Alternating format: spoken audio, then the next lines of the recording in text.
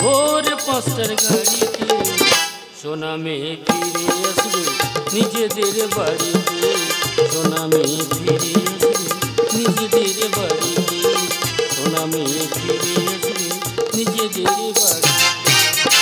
আজকের আমার বিরাট আনন্দের দিন, কারণ আগামীকাল আমার মেয়ের জন্মদিন। আমার মেয়েকে বলেছিলাম মা, তুই গ্রামে পড়াশোনা কর। মেয়ে বলে, না বাবা, গ্রামে পড়াশোনা করব না। আমি শহর, বিদেশে পড়াশোনা করে আমি ডাক্তার হয়ে আমি সমাজকে বুঝিয়ে দেবো। তা মেয়ে ট্রেনে উঠেছে, বলে, বাবা, ভোর পাঁচটা হলে আমি বাড়ি ফিরবো। মেয়ে যে বাড়িকে আমার কাছে আসলে যে কত আনন্দ হবে, আপনাদের আমি বোঝাতেই পারব না। সোনামি ফিরে আসবে নিজেদের বাড়িতে সোনামি ফিরে আসবে নিজেদের বাড়িতে সোনামি ফিরে আসবে নিজেদের আরে বাবা আসবে আসবে। অত চিন্তার কি আছে? আমি কি বলি লক্ষ তোমার নিমন্ত্রণ হয়ে গেছে? হ্যাঁ আর যদি কোনো ত্রুটি থাকে তুমি নিমন্ত্রণ করে আসতে পারো। না গো আমি সমস্ত বন্ধু বান্ধবকে নিমন্ত্রণ করে ফিরে এসেছি। শোনো এই সময় যদি আমাদের ছেলেটা বাড়ি থাকতো কত ভালো লাগতো বলো ছেলেটা অল্প বয়সে বিয়ে করেছিল বলে তুমি বাড়িতে তাকে বের করে দিয়েছ। এই জন্মদিনে দুই ভাই বোনে যদি এক জায়গায় থাকতো কত না আনন্দ করতো। ছাড়ো সব কথা বাদ দাও। গ্রামে যদি কোনো মানুষকে বলতে ইচ্ছা হয় তুই বলে আসতে পারো। সমস্ত পাড়া প্রতিবেশীকে নিমন্ত্রণ করে ফিরে এসেছি। শোনো অনেক রাত হয়েছে। সকাল হলে আমার কত কাজ। এসো তুমি ঘুমাবে এসো। তুমি শুধু খাই আর ঘুমাই কই এই চিন্তা তো। কিন্তু আমি তো বাবা গ্রামের মানুষ কালকের খাবে আমার কত চিন্তা আছে। তুমি ঘুমিয়ে পড়ো আমি টিভি খবর দেখি। খবর দেখে যদি ঘুম পায় তবে আমি ঘুমিয়ে পড়ব।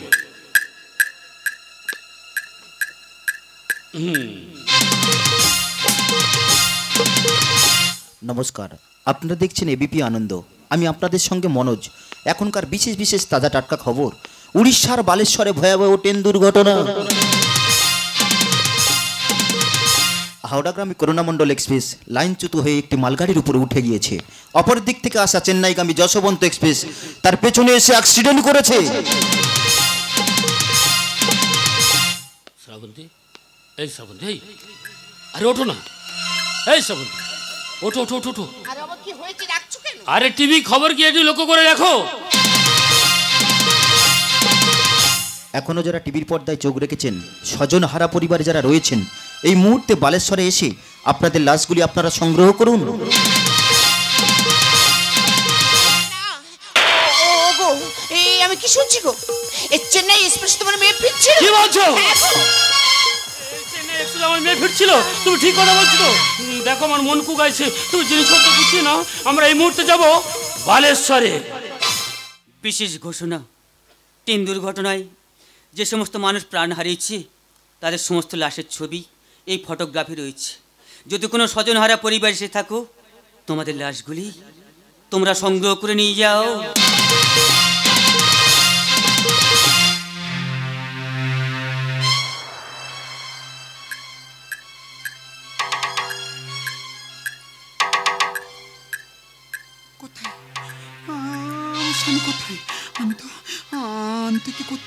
পাচ্ছি না। আমার স্বামীকে আমি কোথাও দেখতে এ কে? এত মানুষের কত বিক্ষত হয়ে পড়ে মানুষের অংশ। টুকরো টুকরো হয়ে পড়ে ট্রেনের অংশ। না না না। তো আমার আমার স্বামীর কিচ্ছু হতে পারে না। আমার স্বামীর কিচ্ছু হতে পারে না। ও দাদা তুমি আমার স্বামীকে দেখেছ? তুমি কি কাউকে খুঁজছো? হ্যাঁ, আমার স্বামী আমার স্বামী এই ট্রেনের কাছে যাচ্ছিল। ও কি না আমি কোথাও খুঁজে পাচ্ছি না। তুমি ওকে দেখেছ? এখানে সমস্ত লাশের ছবি আছে। তোমার স্বামী কি তুমি খুঁজে না! আমার স্বামীর লাশ!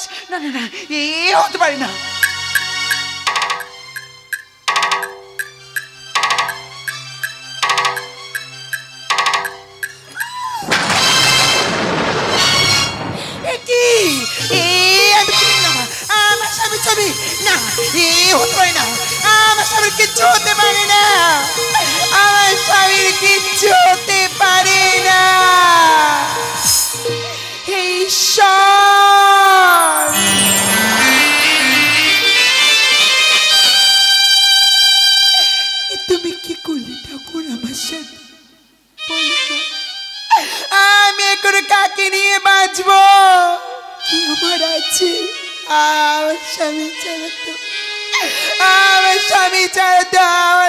ছিল না। আমি আমি আমার স্বামী ছাড়া বাঁচবো না। ওকে ওকে না আমি কোথাও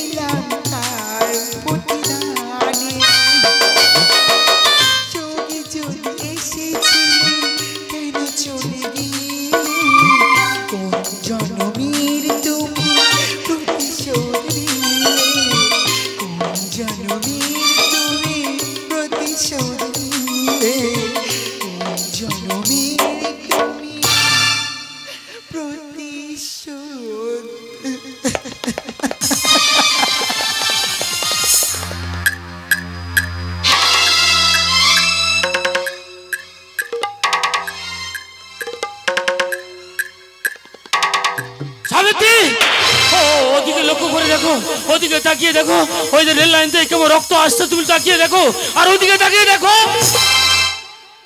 মানুষের লাশ কেমন কুকুরে ছিঁড়ে ছিঁড়ে খাচ্ছে, তুমি তাকিয়ে দেখো। ও সাবিত্রী আমার মেয়ের লাশ তো আমি দেখতে পাচ্ছি না। এ- এ- এখানে তো কোনো মানুষকে দেখতে পাচ্ছি না। বলো না, কোথায় কোথায় আমার মেয়ে, বলো না। ওগো এই দেখতে আমার মেয়েকে খুঁজে পেলাম না। চলো না গো, ওই দিকটা একটু খুঁজে আসি। চলো। ও দাদা। আমার মেয়েকে দেখেছ দাদা? তোমরা কি কাউকে খুঁজছো? আমার মেয়েটা কালকে যাওয়ার কথা ছিল এই ট্রেনে উঠেছিল। বলো না আমার মেয়েকে দেখেছ? এখানে সমস্ত লাশের ছবি আছে। তোমার মেয়ে কি? তুমি খুঁজে নাও। সাবিত্রী! কাল আমার মেয়ের জন্মদিন। আমার মেয়ের আমি লাশ খুঁজতে এসেছি। এ আমি পারব না সাবিত্রী। তুমি যাও, তুমি তুমি যাও।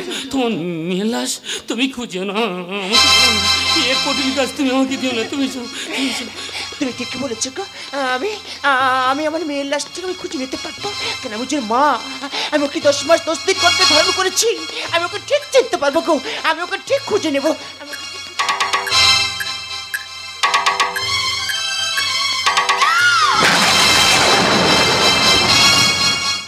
এগিয়ে তো তুমি চিৎকার করে উঠলে কেন? ও গো দেখো না গো ওই ছবিটি কার? ও তাহলে আমার মেল লাস্ট ও তাহলে আমার কোনো গ্রামের মানুষ হবে। আচ্ছা তারা কি টিভি খবর দেখেনি? তারা কেন আসেনি? আচ্ছা ঠিক আছে আমি দেখে আসি যদি চিনতে পারি তার বাড়ি গিয়ে খবর দেবো। হ্যাঁ? তুই একটু দাঁড়াও দাঁড়াও। এ কি? এ সাবিত্রী আমি কাল লাশ তো সূর্যের ছবি। জানো সাবিত্রী ছেলেটা আমার না বিদেশে কাজের জন্য যাচ্ছিল। হঠাৎ ট্রেন অ্যাক্সিডেন্টে ছেলেটা মারিয়ে এর জন্য আমি দায়ী কাকে করব? এর জন্য আমি তোমাকে দায়ী করব। সেদিন যদি তুমি আমার ছেলেকে মেনে নিতে, তাহলে আমার ছেলের মোড়া মুখ দেখতে হতো না। সেদিন যদি তোমার গ্রামে আমার মেয়েকে পড়াশোনা করাতে, তাহলে আমার মেয়ের মোড়া মুখ দেখতে হতো না। ফিরিয়ে দাও। আমার দুটো ফুলের মতো শিশু আমার বুকে ও বাবু বাবু বলো না তুমি ওই ছোট জন্মের ছেলেকে চেনো? আমি না আমি কি করতেও খুঁজে পাচ্ছি না। ও বাবু তুমি চুপ করে কেন আছো? বলো না ওই ছোট নামের ছেলে তোমার কি হয়? ওই সূর্য শুনতে চাস? ও আমার কি হয়? ও আমার একমাত্র সন্তান।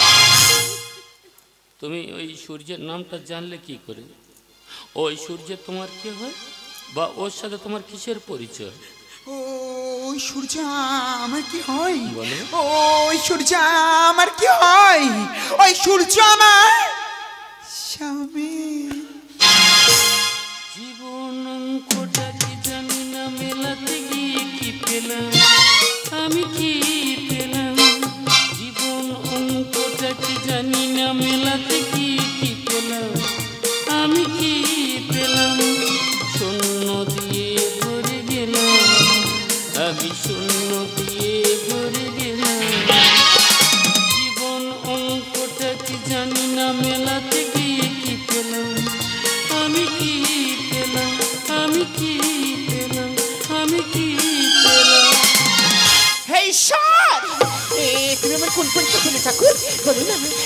তুমি আমার পরীক্ষা পরীক্ষা সাজানো মাত্র থেকে ফুল ফুটেছিল। এক এক করে সবে ফুল ঝরে গেল। বলো না, ঠাকুর, কোন পরীক্ষায় তুমি আমার ইচ্ছা ফিরিয়ে দাও? আমার সন্তান তুমি আমার কাছে ফিরিয়ে দাও, ভগবান। তুমি ফিরিয়ে দাও, তুমি ফিরিয়ে দাও তুমি তোমরা কাঁদছো? কার জন্য কাঁদছো? আমার স্বামীর জন্য। আরে বাবা, আমার স্বামী তোমাদের কেউ হয় না তো। তোমাদের যদি বা কেউ হতো, তাহলে বলো না, সেদিন কেন তাড়িয়ে দিয়েছিলে? ঝড় জলের রাত্রি। কি দোষ করেছিলাম? একে অপরের ভালোবেসেছিলাম বলি? ও, ভালোবাসা বুঝি এতটাই ভুল?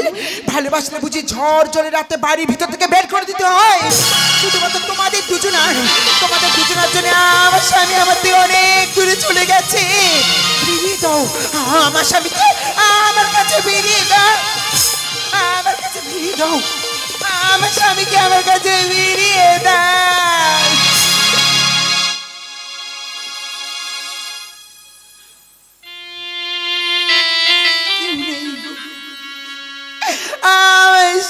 ছাড়া যে আর কেউ নেই।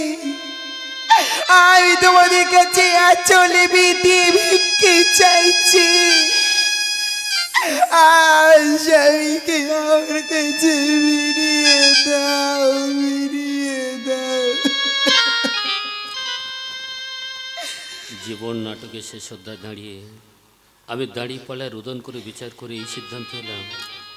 একটা হতভাগী তার স্বামীকে হারিয়ে আঁচল পেতে ভিক্ষা করছে মানুষের কাছে যে আমার স্বামী আমার কাছে ফিরিয়ে দাও।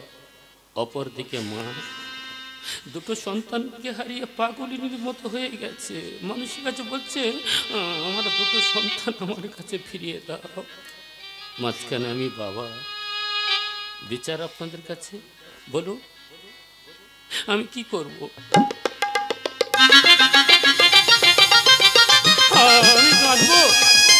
না হাসবো। না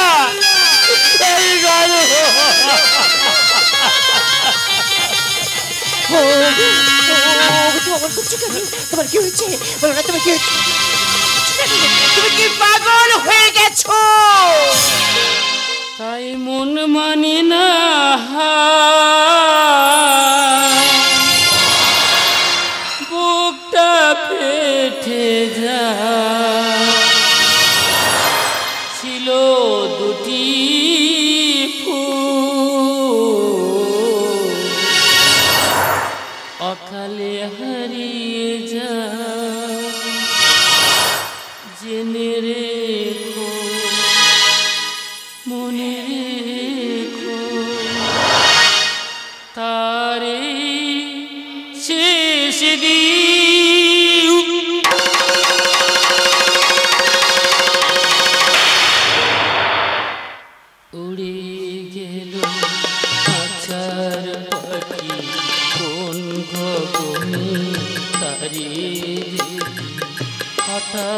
বুক স্বপ্ন দেখা হলো ফাঁকি উড়ে গেল খাঁচার পাখি। কোন গগনে তারে দেখি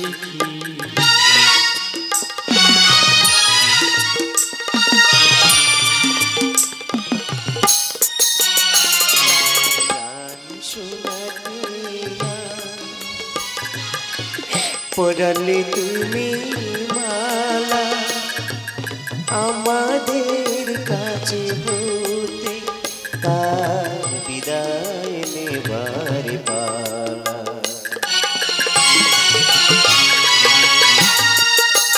যার গান শুনে একদিন পড়ালে তুমি মালা আমাদের কাছে বিদায়